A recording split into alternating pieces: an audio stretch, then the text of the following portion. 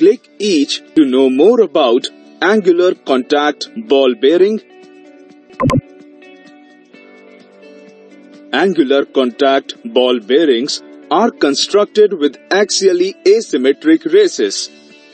It has higher axial thrust with radial load.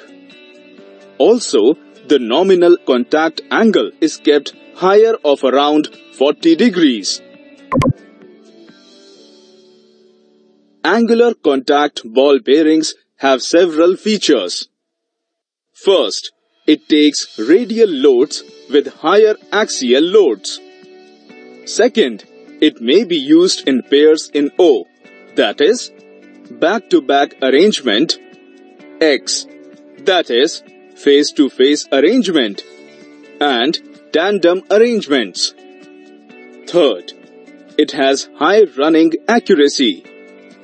Fourth, it has low friction. Fifth, it runs quietly.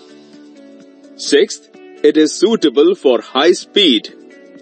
Seventh, axial displacement is not possible in it. And lastly, it does not compensate for misalignment.